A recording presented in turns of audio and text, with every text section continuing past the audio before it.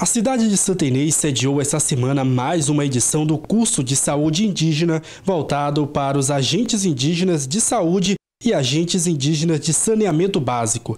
A capacitação foi realizada no campus da Universidade Estadual do Maranhão, a UEMA. Esse é um curso de formação para agente indígena de saúde e agente indígena de saneamento básico. É um curso intercultural que visa da formação para esses profissionais que atuam na, nas aldeias. Né?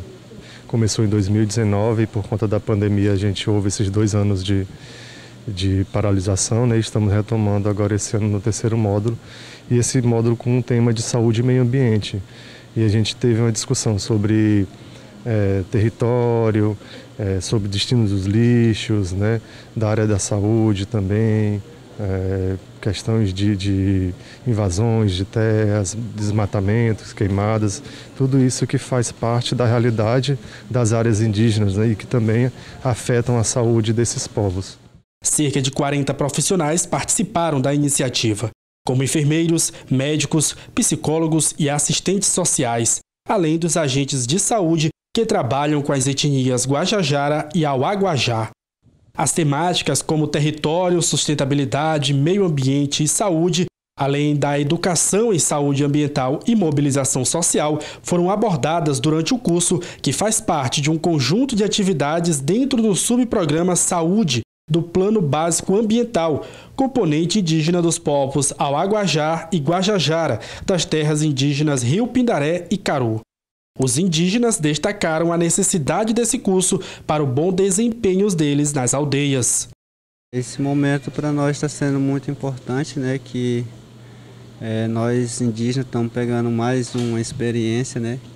É, sobre a saúde, né? Saúde indígena, tanto com é, o saneamento como é a nossa falando da nossa medicina também um pouco para eles também que eles tem que entender também um pouco da nossa medicina tradicionais, né, indígena.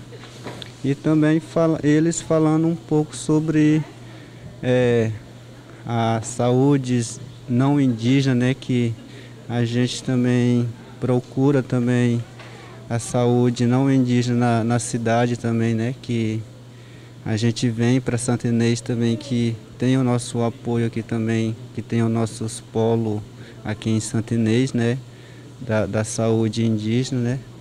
Uma vez que reforça né, a questão do nosso trabalho dentro das nossas comunidades e para aprimorar mais ainda a questão do atendimento das nossas comunidades da TI Pindaré, né?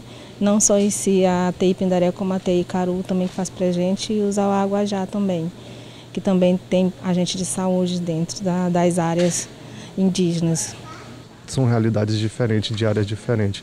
Então, trazer isso para para esse espaço aqui acadêmico da universidade, para a gente poder debater essas realidades e também construir soluções para que eles voltem para as aldeias e apliquem isso no seu dia a dia.